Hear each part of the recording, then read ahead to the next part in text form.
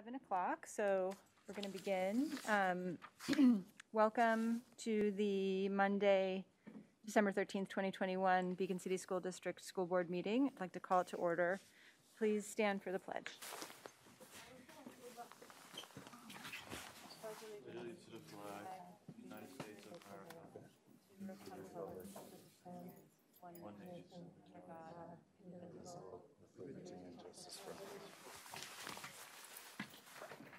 The audio on? I didn't hear, I didn't hear the loudspeaker. Is what on? The Audio? Oh, um, Mike, is Yeah. my audio on? We're good. Um, Kelly, roll call, please. Better Betterman? Here. Lynn? Here. Mr. Galloway? Here. Ms. Johnson? Here. Do you want this one? Here. Okay. Mr. White? Um, delayed, he texted, he's delayed. Here. Uh, delayed also. Here. Here, thank you. Matt, can you review the fire exits? Yeah, exits are in the back of the LGI. Thank you. Uh, We are going to begin with open to the public. I, I did want to mention to the board, um, after open to the public, I'd like to change the rest of the order of the- of the agenda just to um, move student and school presentations after public comment. I think Anna Sullivan is going to join us from the, oh, there she is, um, Foundation for Beacon Schools, and I didn't want her to have to wait through workshop. So, um, open to the public, there's a few new new faces here, and um, I just wanted to um, reiterate that it's a four-minute time limit. Uh, Please do not use the names of any staff members or administrators directly. Uh, You, we are here to, he- to listen to you, but we may not respond, which I understand can feel frustrating. Um, But that is the process, and we, we're definitely listening to you.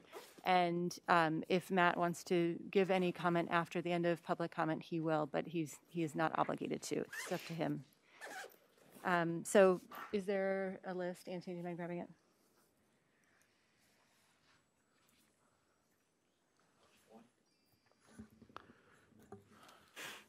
Joy Bonneau?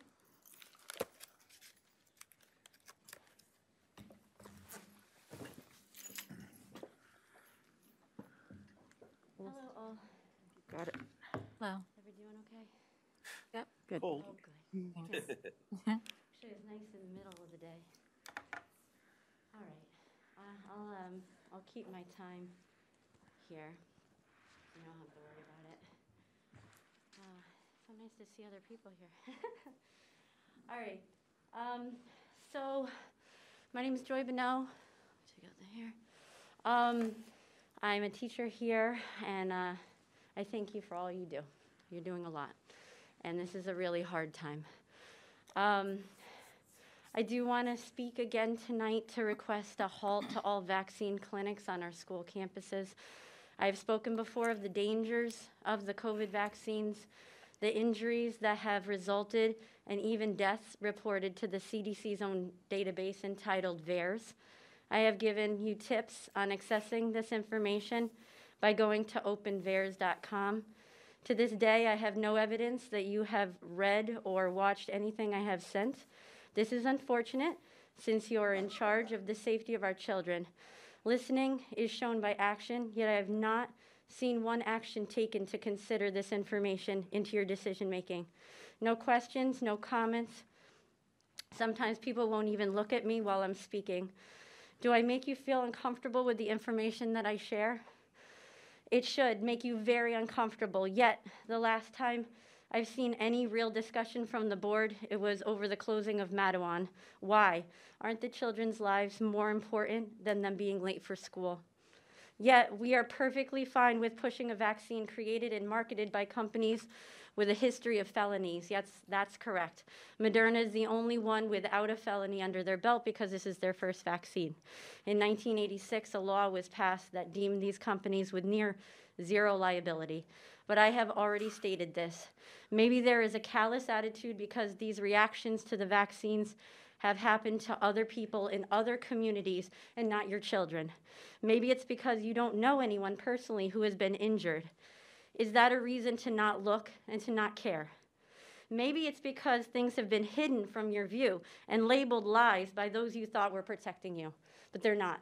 They're not protecting you. Um, and I just hope that you would uh, take a look and a listen to the information I'm going to share. I've spoken before about the federal panel on November 2nd. That was done by Senator Ron Johnson. Uh, it was a three hour panel where um, medical experts and those that have been injured by the vaccine um, spoke. But they have been repeatedly uh, denied any uh, access to medical care if they've been injured by the CDC, the NIH, um, and any other acronym I can't remember right now. Um, they've been forgotten. Many people um, have taken their own lives at this point because after they look for support from people, they're banned from Facebook uh, because nobody wants to hear it. So it's time, though, that we listen, that we look, that we prove out what we're doing.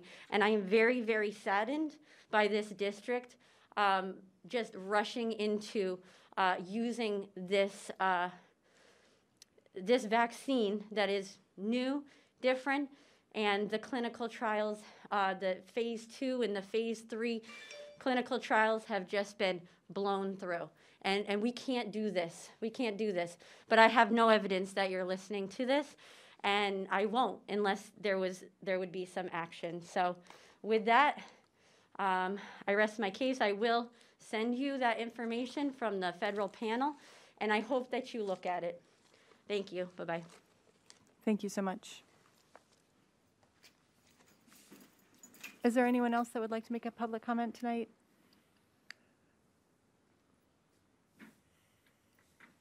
Okay. So, um, Anna, do you mind if we do our workshop and then have you, is that okay? Okay.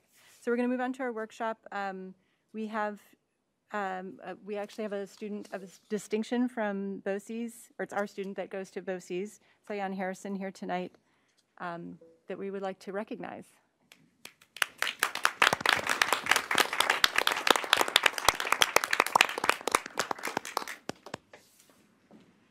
Good evening. Good evening. I'm going to stand right here, okay? Put you right there. I'm Melissa Murphy. I'm the principal at Dutchess BOCES Salt Point Center. Thank you for allowing us to come this evening to recognize this gentleman.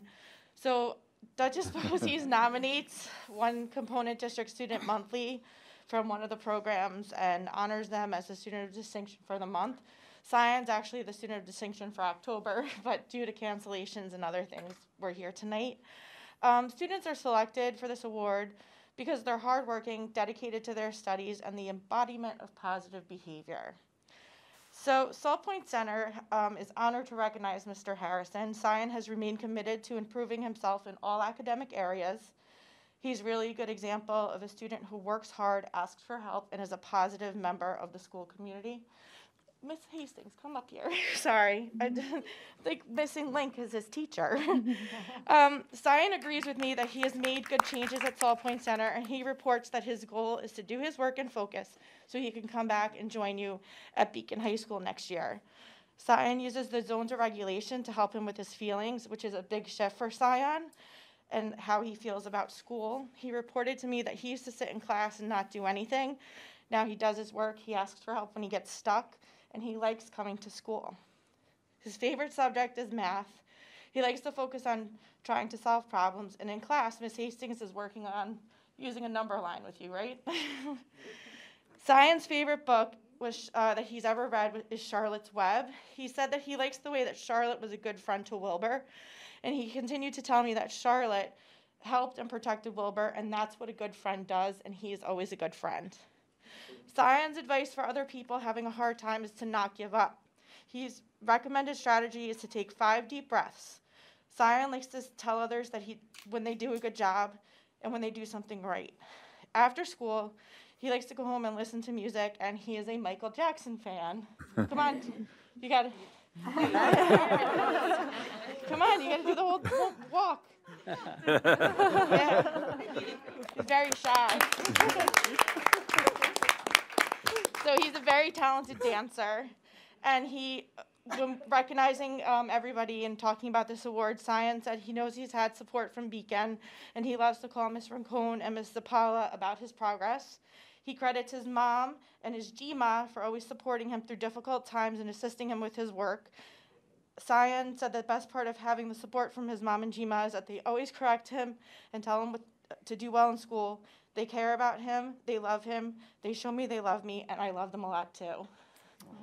And I also want to, Miss Jones, who was his previous 120, is also with us tonight, but we mm-hmm. don't need, we don't need a 120 because we're doing so well, right?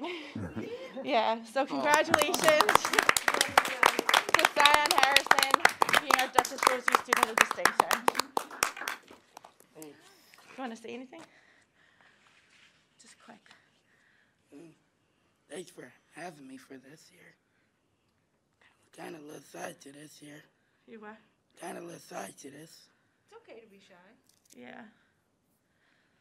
I, I'm still nervous about any public speaking, Simon, I gotta tell you. But you did a great job. so Yes. Thank you. Thank you Thank you so again. much. And Congratulations. Thank you so much for coming. We're so proud to have you as part of thank our you guys. Thank school community. And um, I just want to also say, Sion, that you and I have the same book in common as our favorite book. Oh, yeah. I really love she likes Charlotte's Charlotte's Web also. I cannot read it without crying. Do you do Michael Jackson dance moves too, Mary? I really like Michael Jackson, but I do not try to dance. Yeah, I can only I can only moonwalk. I can't. Moonwalking is impressive. Part Uh, con- congratulations and to, to you, to your teachers, to your to your ma and, and Gma and the whole family. Yeah. Take some, take some. Yeah, thank you, thank you all for coming tonight. It's so nice to see a student in person. We really can get so separate from the work, which is supposed to be all student-centered, and so it's always great to have a student here to remind us why we are here. So thank you, thank you very much. And I, I would like somebody to take a picture of Sion's whole team with him so that you Yeah, can all I- remember this tonight. Yeah, When you when you guys are ready to go, I'll try to get a picture of you out in the hallway. Yeah, and it'd be nice if you would join too. first. Oh, that'd be We'll great. get a picture in a minute. Yeah, Okay. All right. There it is. we can, do we can get the whole board. Should we just? Do you want? All right, let's do guys it. Want to go? Let's do the picture. so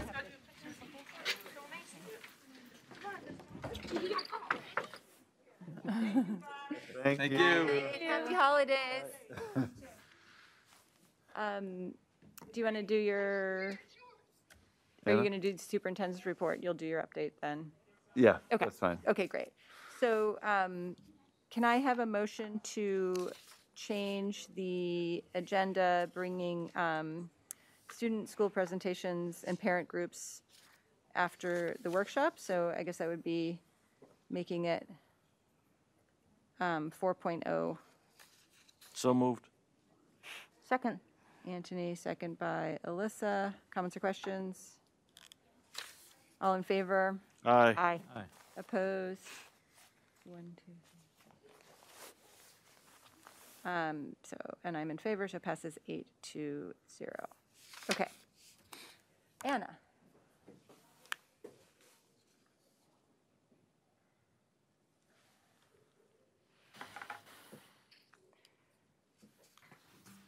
Anna's going to introduce herself, but um, just to give her a brief introduction to the board, because not everyone knows her. She's a parent of um, a student at Rhonda. Rombout now, and um, the new, the chair and founder of F- Foundation for Beacon Schools. Great, thanks Meredith. Um, good evening, everyone. It's lovely to see you all in person. I've been mostly following you all online during the pandemic, so um, I don't want to take up too much time, but uh, you, some of you may already have heard in the community that a new foundation has been formed to support Beacon schools, all six of Beacon's public schools. Um, we formed as a group of concerned parents, residents, uh, faculty um, during the height of the pandemic. So we met remotely for many months trying to figure out what to do with this new organization uh, at a time when you know state aid was very uncertain. We weren't kind of sure what type of support the district would need. Um, in the, the time that's uh, ensued. We've um, we've incorporated with the state of New York. We've registered with the New York State Bureau of Charities, and just a couple weeks ago, um, we obtained our 501c3 designation from the IRS. So we are we are ready to go, um, ready to spread our wings. And uh, in a think about a week, you'll see a website for the foundation, um, but we have a Facebook page, um, and we've already started uh, fundraising on a small scale. But our goals are ambitious to support the amazing work that this district does to support our faculty with teacher grants, um, to support innovative pilot projects, to really use it as a as a testing ground for for new ideas, new teaching methods, new technologies. We would like to fund uh, some district-wide curriculum initiatives, and very grateful to have spoken to Matt and to uh, SAGI, um, just in some preliminary discussions about you know what types of curriculum um, enrichment might be a be a good fit with with your existing goals. Um, so we, I just wanted to introduce the foundation to everybody in person because we haven't had a chance to do that yet. Um, and we will we have several BOE members on our advisory committee, um, so we will be providing a way to give you regular updates. But we have um, quite a few exciting things in the pipeline for for 2022. We're working on a a 5K race that will will benefit the foundation. We're looking at a um, student film festival that is hosted by the foundation, and we're in the works uh, planning our inaugural gala benefit. What are we going to call it, Alyssa? Don't we. Don't, we don't know yet, but uh, Sprinkling. party celebration. Um, Alyssa has kindly stepped up to chair that committee. So, um, just wanted to, to to say hello and to to let you all know that we'll be um, doing a lot of things to support uh, the district in the future. Thank you so much.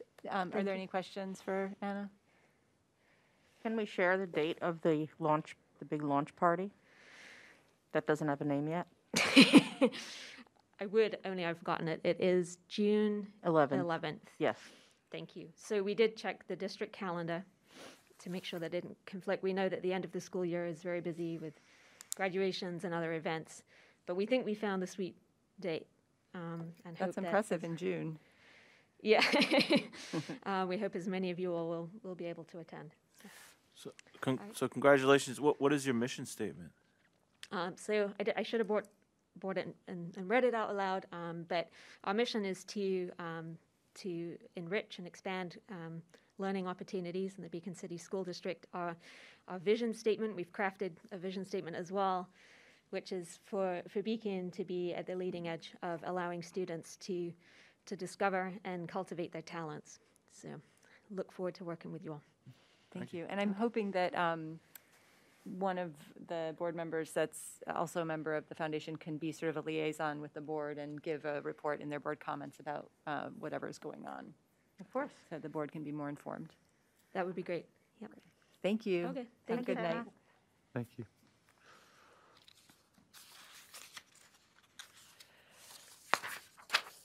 Can I have a motion um, to adjourn to executive session to review the employment history of a particular individual and for the purpose of discussing collective bargaining with the Civil Service Employees Association and with the Beacon Education, Educational Administr- Administrators Association, and the board will return in about 40 minutes. So moved. Second. Anthony, Alyssa, other comments or questions? All in favor? Aye. Opposed? I'm in favor. Passes eight to zero. Thank you. Thank you for your patience. Uh, Reviewing the agenda, there are no changes or corrections. And so we're moving straight to Matt's superintendent po- report.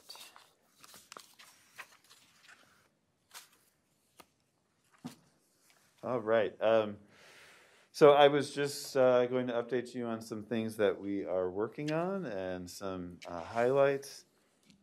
Let's see if I'm doing this right. So last week we had the middle school winter music concert. There's our seventh and eighth grade band right there. It was just uh, an awesome night from start to finish. This Thursday we have the high school uh, winter concert. Um, but it was, you know, each teacher spoke uh, before the performance, and uh, you know, so each teacher spoke about this is the first time that you know they have performed in a couple of years. It was a really powerful night, and I was really impressed. Uh, I'm a not not a music guy, but I was really impressed by how good it sounded um, without having concerts for so long. They did a really nice job. So there's chorus. I think that's the seventh and eighth grade chorus, if I'm not mistaken, too.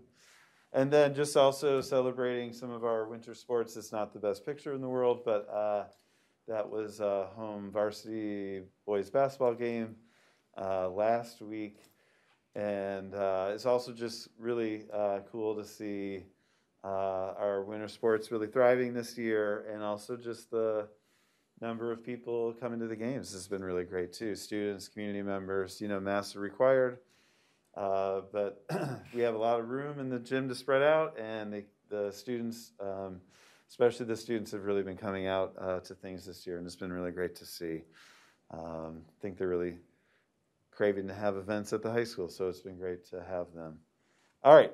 Uh, so just uh, we had to recalibrate what we're thinking with board meetings a little bit and make some adjustments. Uh, so we wanted to do the school presentations, and uh, so we're switching all six of the schools to January. So on January 10th, uh, high school, um, and these are the uh, principals making the presentations. So we'll have the high school, South Avenue, and Glenham. Then on January 24th, Rombout, Sargent, and Forrestal will be doing their presentations. They're going to talk about uh, focus areas that they're working on this year, things they're celebrating, and also tying uh, some of their work into the board goals. Um, we did this for several years running, and then we took a break last year.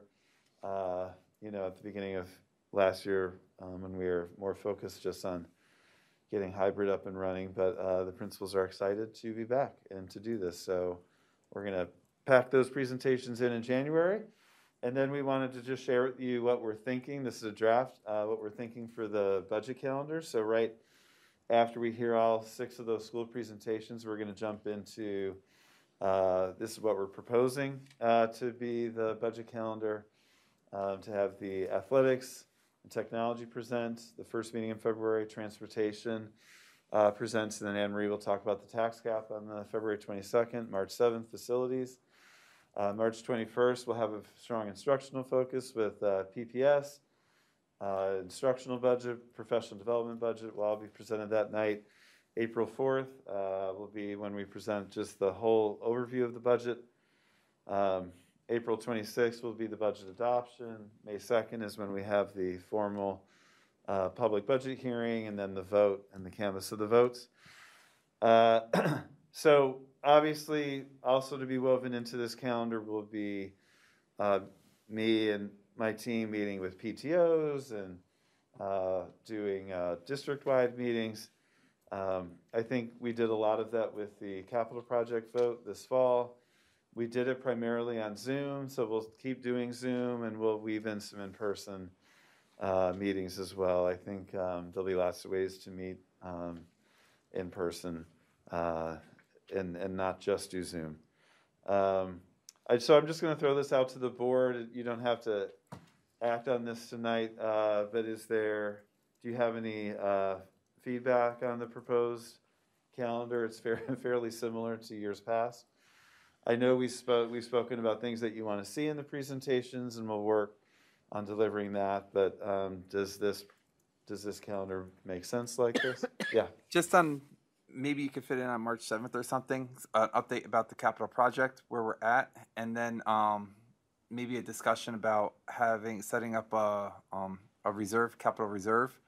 Um, so if we have a proposition on the ballot for that, Okay. maybe we could fit that that somewhere in there. Okay. Anne Marie, could you um, could you add this to the Google Doc that we have for the calendar? Um, I think that makes sense um, for sure. So, just to reiterate, we've been talking uh, in the facilities committee level about uh, um, creating another uh, capital reserve fund. One of the big reasons is this project uh, takes us out many years until we can do our next capital project, and creating a capital reserve fund would allow us to um, to take care of things in the district before our next large capital project. Anthony? In the past, uh, we've always had athletics and technology in the same night. Um, and, you know, I, I, and I guess you know, we're preparing everybody, so it may be too late to change it, but it, it does seem a little odd to me personally that, you know, technology has a lot to do with the, the, the, the, the, the non-athletic services that we offer in terms of like the curriculum and stuff Right. like that. Right. But um, so we end up asking some of the same questions sometimes to both to the technology presenter as well as the curriculum presenter too. So I'm Okay. kind of wondering if maybe maybe this year to just be uh, more you know different, but Right. it's too late to change. That's fine. No, it's, it's definitely not too late to change. Maybe what we can do is, because some of what would be presented on February 7th, for lack of a better word, would be nuts and bolts kind of things. But then things that are more of an instructional initiative with technology, we weave into the March 21st. Yeah. Okay. Maybe that's the way to do it. But that's good feedback. I will. I will think about that one. Anything else with this?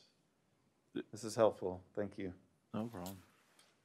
The, the only the only other personal note is I have a JV Forrestal T-shirt and a Sargent T-shirt. So since they're both on the same night, and I got to decide which T-shirt to wear.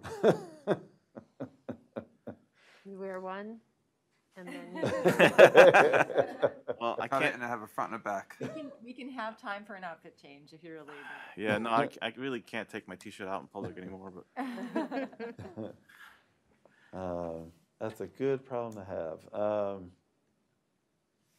right, and and you know, just to say again, we'll, weave all the different communication feedback things that we're uh, doing in this process into the timeline as well. This is just the sort of board structure of it all.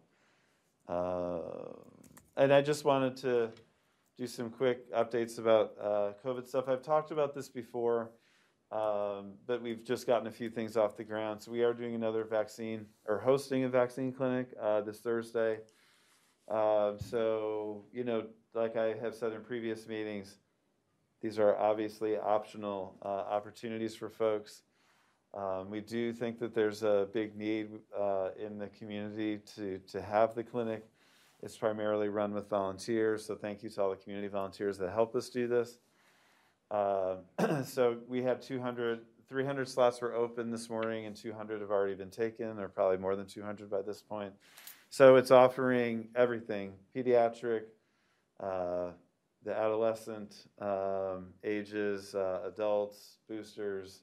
So you have, and all the different kinds. So you have every option uh, that you want for that. So one thing I'm seeing with that is, uh, at least the, on my personal experience of going on the different uh, pharmacy websites, uh, they're sort of scheduling you out now four or five weeks sometimes to get uh, to get a vaccine, and so I think this meets the need because you know people are, who want to get a booster or to get started with uh, the vaccine process, they're able to just jump in and do it.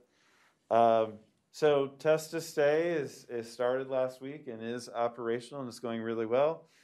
Uh, test to stay is an option for students who are deemed a close contact uh, to someone uh, who has uh, COVID 19 that instead of quarantining for 10 days, uh, that they are able to keep coming to school if they do a rapid test in the morning. So uh, we have our testing partners with from the Village Apothecary. Again, they're the ones who help us with the vaccine clinic. Um, they are coming every morning from 7 to 8.30 to Beacon High School to test students uh, and some staff as well. And so I think last week, Anne-Marie, we were averaging a little like between 10 and 15 students at each each morning. And uh, and and we imagine that we're going to have this need for quite some time. Uh, what's great about it is it keeps kids in school. I, from the feedback we're getting as parents, have been ecstatic that we have this uh, option, and uh, it's uh, it's it just has been going for a few days, but it's been working well. Uh, you know, Anthony White brought this up in a previous meeting. All of these things are funded through Dutchess uh, County Department of Health. Um, we're not using uh, our school budget money to pay uh, for any of these things, really. Um, so this is all part of a federal grant uh, that each county health department got, I think, across the country. And so it, they're pretty confident that everything we do this year um, for the entire school year will be paid through this grant. Uh, so we're keeping our fingers crossed that that is indeed the case. Um, in January, we're going to work to expand test, not test to stay, but just uh, during that time frame, if people want to also just get their child tested, that, that like we could work in 10 to 15 students that way for people who might be concerned about something or, you know, you know, they, they feel like they want their child tested. We want to try to expand it a little bit. We're trying to just get test to stay going for these few weeks. And then uh, huge shout out to our school nurse team. Uh, they have been also performing uh, some occasional COVID testing as needed. That's with employees, also sometimes with students, like in a, I don't want to say emergency, but in like a timely sort of uh, need. We, we do have uh, kind of a reserve of rapid tests, again, that are provided to us by the county. And uh, our school nursing team has been great at sort of meeting with parents or meeting with an employee to do a rapid test uh, to uh, to help things um, keep running. So I can't say enough about um, what our nurses uh, have accomplished this year and throughout this whole time, and uh, and our partners with the testing um, have been really hugely helpful too. I also want to say, uh, give a little shout out to Dutchess County. I was on a regional uh, superintendent meeting last week, and it, it appears uh, that Dutchess County is one of the um, few counties pushing forward with test to stay uh, in the region, which has been great.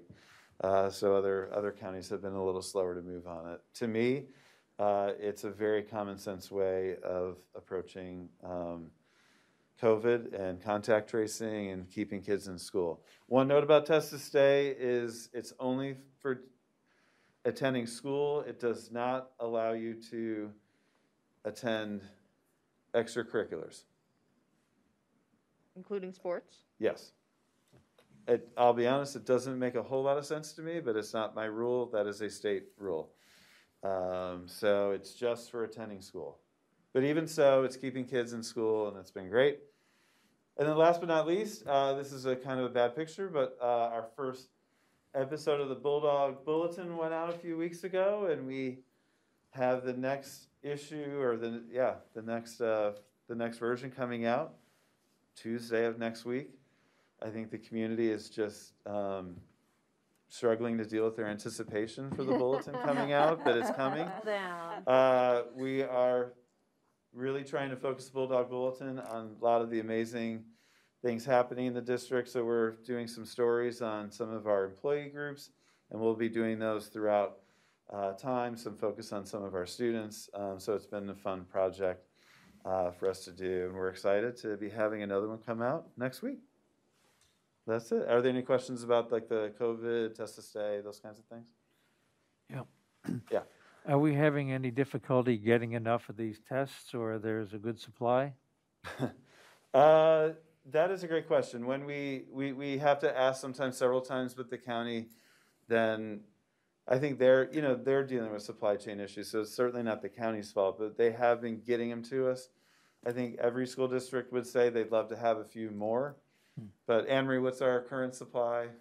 We probably have around 100 right now. We just got a shipment of a hundred on Friday. Right. But we can go through that 100, and that's not counting all the employee testing we do. That's not counting test to stay. We can still go through that 100 in a few weeks, probably. So, um, so it's not perfect, but it's really it's not the county's issue. I think it's like, well, I don't really know what the issue is. Supply chain stuff. I'm not sure. Alyssa. Can, can any, can any student come in for a test in Not the yet. morning? Or only kids who are known to have been exposed? Not yet. You, uh, families find out if they qualify for test to stay because they get contacted by one of our school Right. nurses. Uh, in January, what we'd like to do is expand it a little bit, although you'd still need to make an appointment, kind of like, kind of like, you know, other testing centers, if you've Right. had to go through all that. Uh, but I'd love to expand it just a little bit and have like appointments for people, you know, sometimes things happen, your child is exposed outside of school, and you want Right. to just test, just to be sure, and Well, I'd I'm love to asking- expand that for, obviously, parents Uh, parents have to give permission for all of this. Obviously, we're not Right. testing students without parent permission. I'm just wondering for like a kid who was out, like absent from school because he had a cold. And uh, it's my child. He's going back tomorrow, but I'm, you know, should I have him tested? He's got a cold, but should I test? should I test him tonight? Like, wh- No, Anne Marie, I have a home we rapid usually test. we usually can get I, a doctor involved with that part of it. Yes, because you don't necessarily have to have a COVID test. Normally, you know, if a doctor knows, you know, that it, it doesn't look like symptoms of COVID, right. then we kind of rely on the medical doctor. Well, I didn't take him to the doctor for because he's got a stuffy nose. So I guess I'm asking for me. Can I can a parent send their child back to school the next day after staying home sick with cold symptoms without testing first? I know that was the case last year. I'm just wondering if that's still the case now.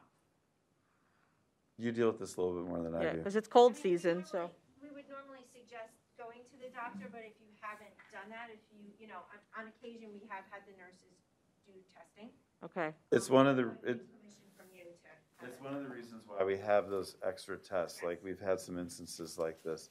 Okay. I think maybe what you could do is call this call the high, high school call the high school nurse tomorrow morning first thing. Yeah, Okay.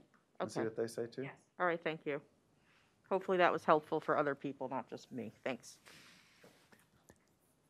Uh, Another question, uh, the governor came out with some proclamations, if you will, and talks about possibly doing some further rules in the later part of the month. I'm wondering if you've heard anything more about this and how it may affect us, any different than today? I don't think so. I mean, you all know probably as much as I do, but I know we now have this month-long mask mandate for public spaces or indoor public spaces that we've always had the masks in school. Um, so I, I, in my mind, we're sort of full steam ahead. I mean, I will say, and this is conjecture on my part, but as, as, uh, I, I don't want to get too into this because I'm obviously not a medical doctor, but as as more people who are vaccinated get like this mild version of the new variant, I do worry in the winter months about about the number of people who may have to quarantine as a result. Um, so that that's one of the worries I have, and I, I don't really know if there's anything the governor can do about that one way or the other. I do know this, us school folks, I mean, in Beacon for sure, but I, I think other districts feel the same way. We're very passionate about keeping school going and keeping school in person. And so I, I do not see them doing anything, you know, besides trying to support in person school. I could be wrong, but we really want in person school going all year. Yeah. I have I have two questions, but it's not related to your slides. That's so fine. I was gonna wait till everybody else's. Okay, so um, can you speak a little bit more about the grant that you submitted to the state about a week and a half ago? It was like 1.2 million, um, and um, how you kind of would weave STEM into it? Sure. Uh, we um, we wrote a. It's called a 21st Century Learning Grant. Uh, it's to expand after-school opportunities for students. Um, so we, uh, at the elementary level, we partnered with the City of Beacon Recreation Department and the Town of Fishkill Recreation Department to uh, to essentially provide um, tuition-free after-school uh, for for uh, low-income families. Uh, it's not a huge number because that that cost adds up pretty quickly, but about 25 families is our hope. Uh, uh, probably about six families at each school, and also provide those students with tutoring. And they would receive the other enrichment through what the rec programs are already doing for enrichment. Um, at the middle school, we were creating an after-school group that would meet three days a week. Excuse me, that um, uh, would partner with different uh, outside. It would have like an hour of tutoring, sorry, and then an hour of enrichment. And we'd partner with uh, outside groups to provide the enrichment. So we have spoken with Compass Arts about partnering with us or Common Ground Farm. And like the list would go kind of on and on in terms of other uh, other agencies or groups that we would uh, uh, that we would partner with. Um, that program would probably work by quarter, like different kids could be in the program based on the quarter. Um, and then at the high school, similar, like a group of about 25 students would have an after-school program with an hour, an hour of tutoring and academic focus. At the high school, we wanted to weave internships into into the program, and so we talked with the city of Beacon about some of our students interning with the city of Beacon, either in the rec program or other parts of the city of Beacon. And then if we get the grant approved, that's when I'd probably go out and talk with other businesses or agencies about our students interning in, in that as well. So it has to have uh, academic focus. Uh, there also would be a family support through all, sort of woven through all of this, and uh, and then an enrichment focus. And the enrichment would be where STEAM would come in. Uh, it could be like a technology enrichment or arts enrichment or something in in in all of these programs. But part of it is a focus on uh, families in need of after school support and trying to provide their children with low cost or no cost, you know, childcare, academic support, and enrichment. And the 1.2 million, that's over five years. So each year it's it's it's about you know 240,000 uh, to do that. So we'll we don't find out till April, which I have to laugh at. I don't know why it takes so long, but Uh, my other, my other question was, um, the Dutchess County twenty twenty-two budget is, is stated to ma- have made, uh, six hundred and forty thousand dollars available to area school districts for youth mental health trauma training. Um, are we eligible for that? Um, I, I think we are. I don't know exactly like what they're offering, but um, I'll look into that. I'm pretty sure we are. I have Thank a you. question. Yeah. Um, when it comes to the side effects, because you know there's side effects with everything, with the vaccines and everything, is that disclosed when the clinics are going on, just to cover your Mhm. tracks and everything? And also, are the nurses well versed with the side effects? If a child comes in and they say they have chest pains, Do they feel like their throat is closing up, do they know what to do? Um, yeah, our, our nurses are really well versed in this process. The a- anybody who gets vaccinated, there's like a whole sign off thing that you do um, where you get all that information too. And I think they Um, give you a sheet to take with you. Yeah, At, at least we did. Okay. yeah. The- uh, Actually, so that came up, like, I have another question now. So, I mean, I remember uh, the, the, when the county runs the, the vaccination clinics up at J.C. Penney, they have somebody with a epinephrine and all that stuff. I mean, we have that on standby, right? Yep. Okay. All right. Well, that- that- This this the folks running these kind of pop-up clinics with us are doing a lot of the county clinics now. It's the same folks.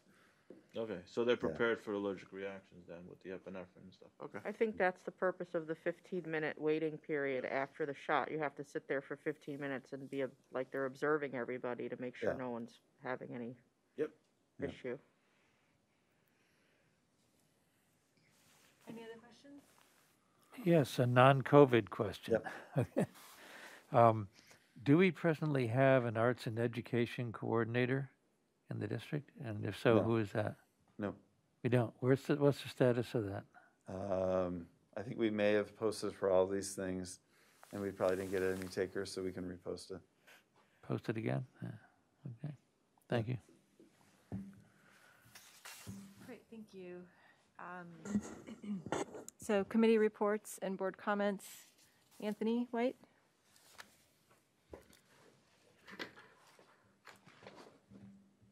Hold on one second. Sorry, did I catch you off guard? No.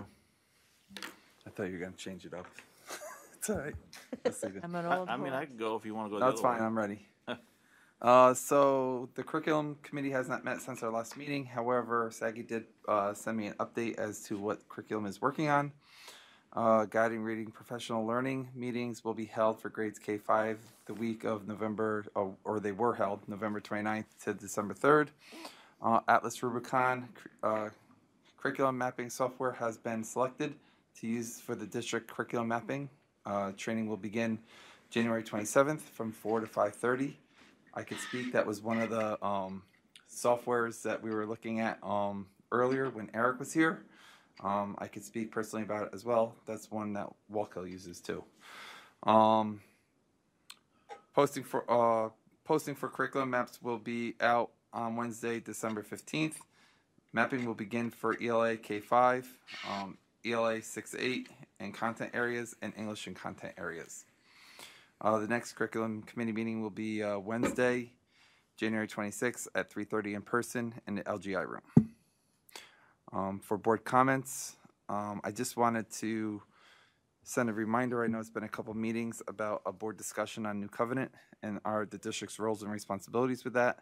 I just didn't want to go to the wayside. I think it's important for us to have that discussion in public, so um, everybody has a perspective as to what is our role with that piece. We were, I think our thought was the January 10th meeting for that. Okay.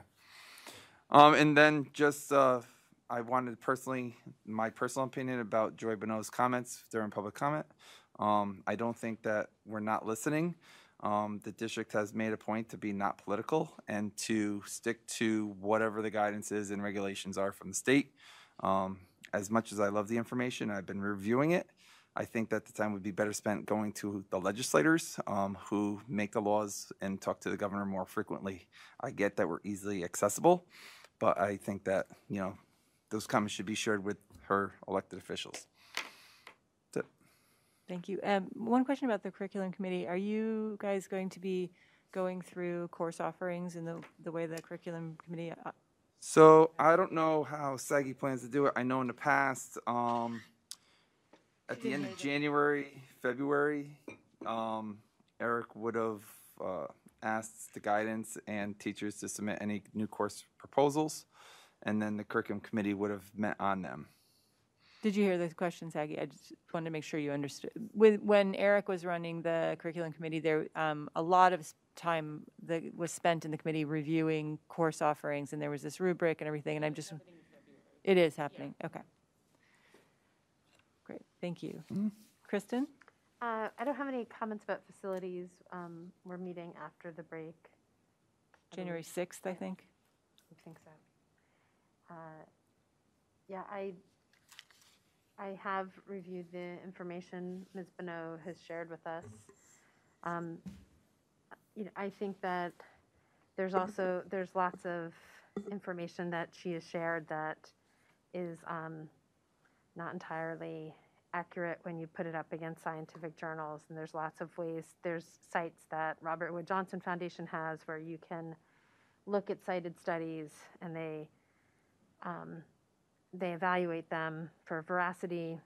Uh, I, I understand all of this is a leap of faith um, on some level that you have to take in the information and make your own decisions on a certain level. Um, but I think that as someone who does a lot of research with the pharmaceutical industry, um, I can tell you if I talk to somebody about a commercial for a cardiac medication, I have to do a 40 minute training for adverse event um, reporting, which is if someone during that interview for evaluating a commercial says that they hurt their toe after they took this medicine, I have to fill out like a four page report and Yep. whether it's related or not to that medicine that gets captured and what they have to report to the FDA. So a lot of the things that are in those reports don't always correlate, and the threshold to get past a lot of this stuff is quite high. But I, I also understand that people feel very strongly, and I agree with Anthony that we're following regulation that's being set out by the state, and um, if if someone feels really strongly about changing that, they need to go to the state. Thank you. Craig? So uh, earlier you heard a report from uh, Anna Sullivan about the Foundation for Beacon Schools. I serve as an advisor to that outfit, and uh, there are a number of very interesting initiatives in the hopper, um, including fundraising ideas. So uh, I'm pleased to see the progress that's going on there, and uh, I also had the opportunity to see the Beacon Players production of Holiday Inn. I thoroughly enjoyed it and thought everybody did a very good job of presenting a, a grand old production. Thanks. And the next audit committee is January 6th as well? What she said, Yeah, Yep. January 6th. same thing. Oh, yeah, I forgot to mention in my comments just how nice it was to have Zion here. I wanted to, mm-hmm. it just, it- it's so, the, the other thing that's really nice about that is that when you see a student that's, has had goals that they set out to achieve that will impact their life, you know, and that will allow them to access school better in a way that works for them. And the, and seeing the support that he's had from his teachers and the connection he clearly has and his family, it was just, it's always so nice to have students come in. And um, that was just a really lovely treat, and I congratulate him. I Forgot to say that. Thank you for. Thanks. Yeah, I'm glad he could make it. It was a, he's scheduled a couple times and he has a pretty busy schedule as it turns out, so I'm glad he could fit us in. Zion. Um, Anthony? Uh, good evening. Um, thank you, thank you, uh, Matt, for the update. And uh, again, I echo congratulations to this to the to the BOCES program and and and um, um, and the student and his and his and his family. You know, his whole support circle there that he has. I mean, that's that's very important, um, and he's very lucky. Uh, but also, uh, very um, some of it's him, himself also pouring into the work too. So, congratulations. Um, the uh, uh, um, the city beacon had this uh, undoing racism workshops and some seats open. Um, I asked them what they were going to do with it. You know what they were doing after you know the, the training's over. Um, so uh, it, it, they may. I think they're going to put together a, a local work group uh, to discuss and suggest reforms um, based on the, the those who attended the last two. Um, I took mine in 2019, I think it was. Um, so you know, I, I you know I told them that I took the class already. 2017, actually, that was that long. October 2017.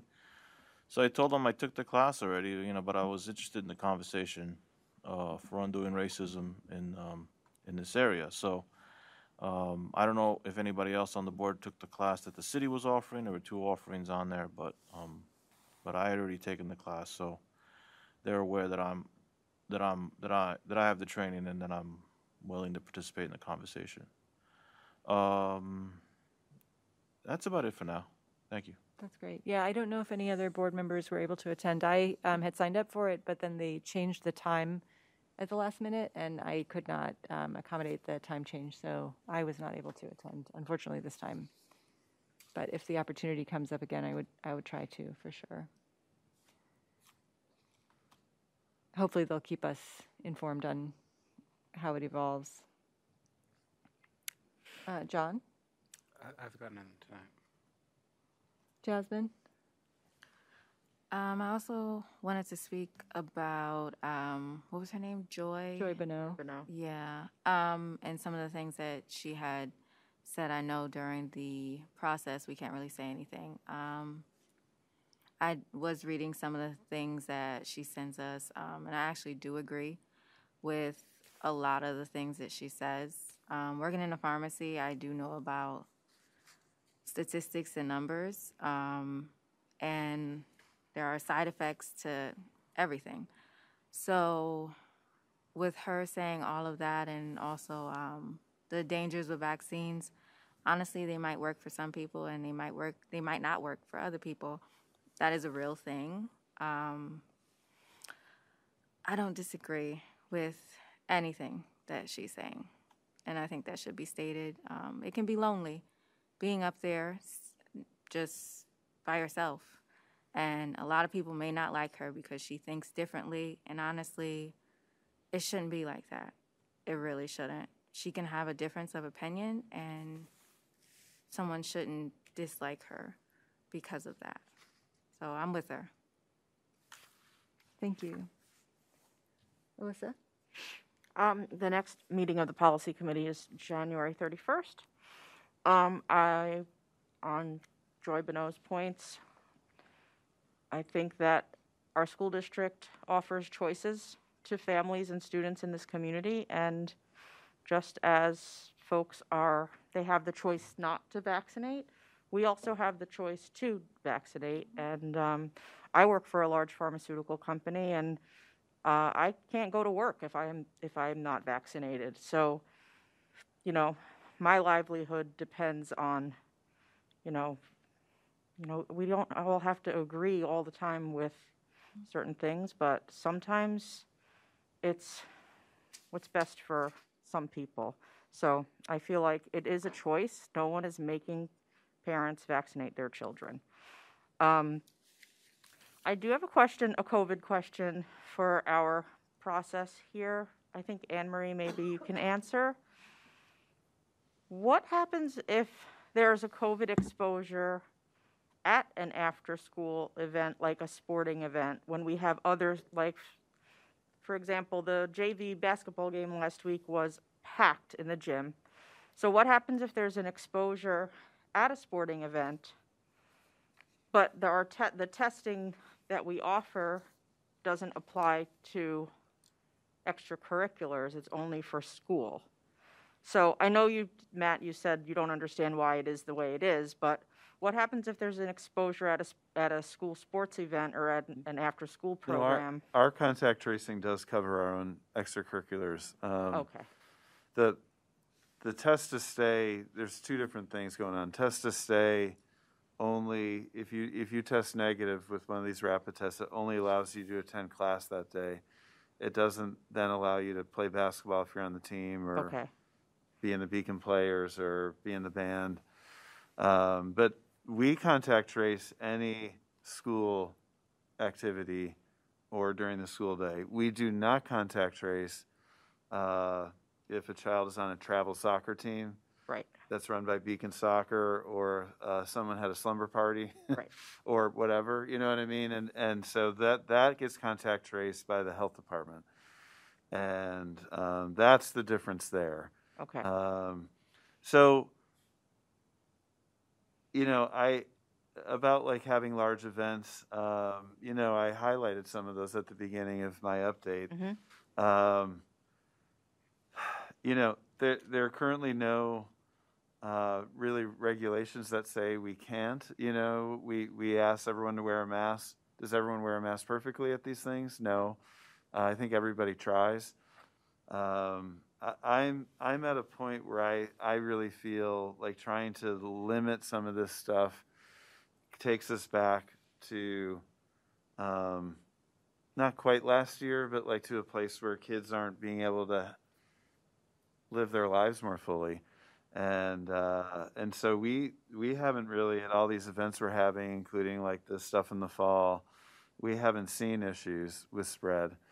Um, the spread that we see, and I've been saying this for a year plus now, is usually, uh, and this is said with no judgment, but it's usually at home or like a family gathering or somewhere where you're indoors for like hours on end Mhm. with other folks without masks on. That's usually where uh, people catch it, and that's just, and that's where I think this virus is at its most perni- pernicious. Is it sort of works through families. I feel. Right. Um, but sorry, I'm giving you a long answer. But um, test to stay, the process only cut, only allows students to be in class, and I did share my personal opinion, which is worth nothing, right, with this. That it doesn't make any sense to me. yeah, that, that if I'm if I'm in the band, I can go to school all day because I tested negative, but I can't go play. Like that to me makes no sense. But that's the state.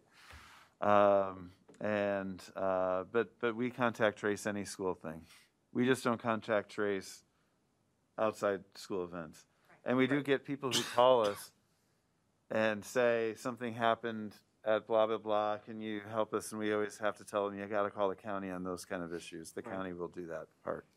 One other question, um, like I said, my son stayed home for, from school with a cold today. So if I have an at-home rapid test, can I give, administer that test to him, and will the school accept that result? So the only problem with the at-home test is we're not, we can't ensure that it was. That I'm doing it right. And that the person needed it had it done. Right, So we would probably retest. I um, see. At school. Okay. I mean, Alyssa, you're speaking to, I think, something that every single parent has struggled with for a year is when your kid gets a runny nose or, you know Yeah, I I mean? mean, I'm- some I'm really mild symptoms, like what do you do? I'm speaking from my own experience from today, but I think it's helpful for every parent to know, Right. like, if your kid stays home from school with a cold, do we still need to have them tested before we can send them back to school?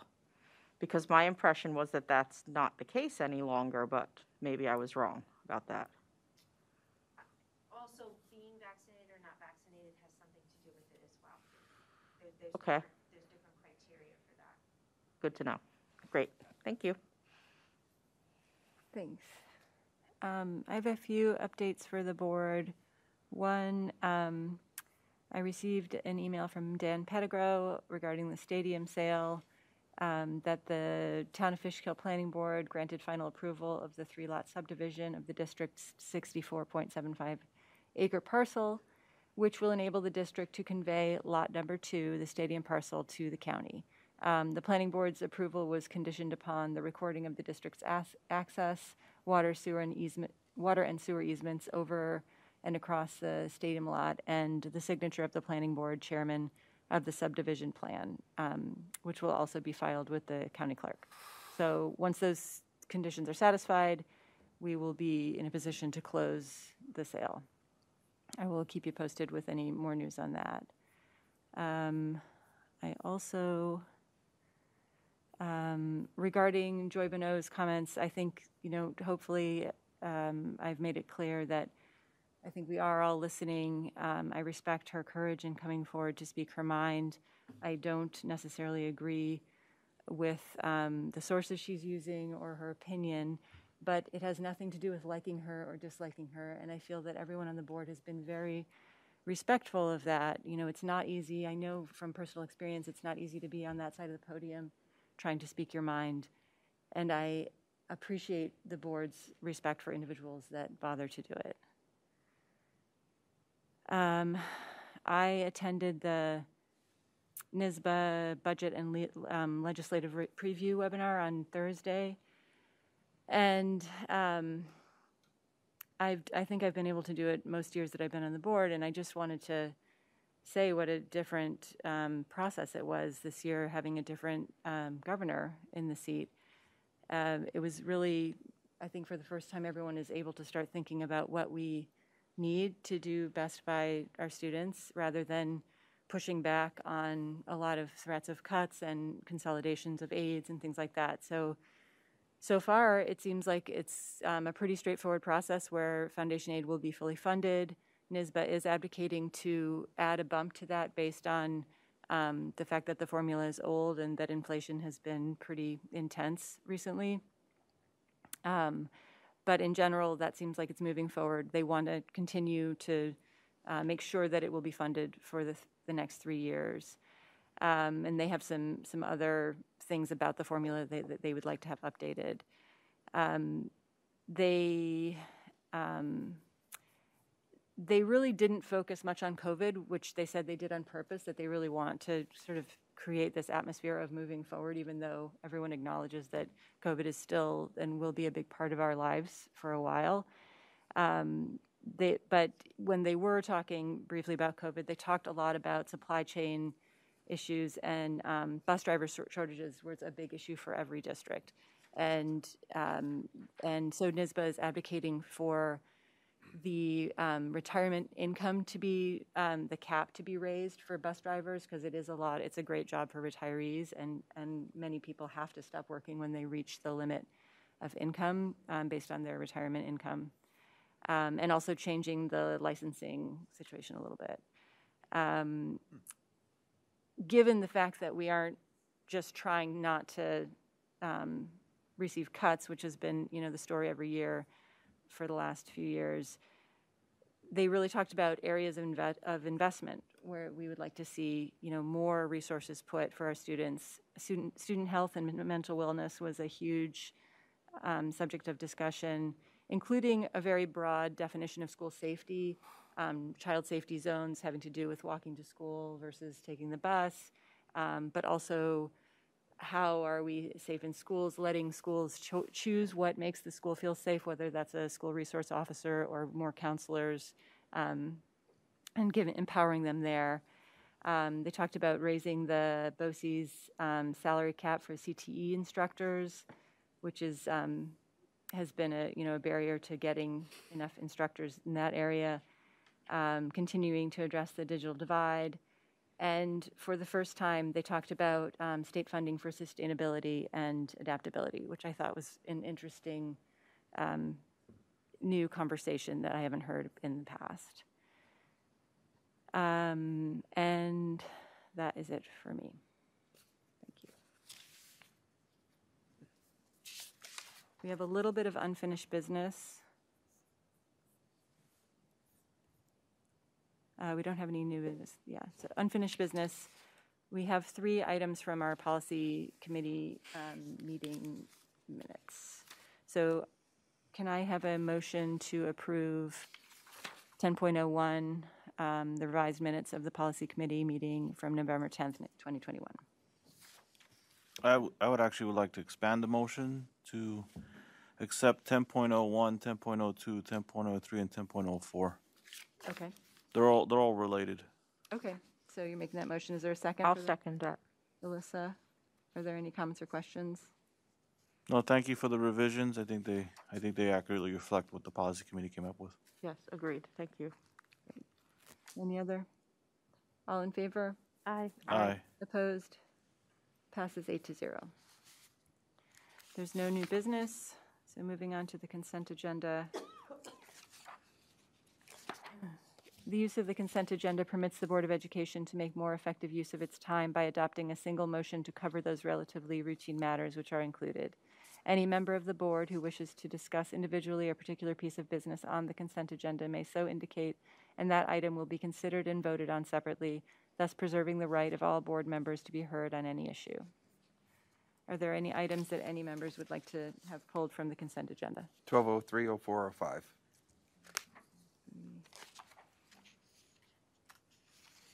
Any others?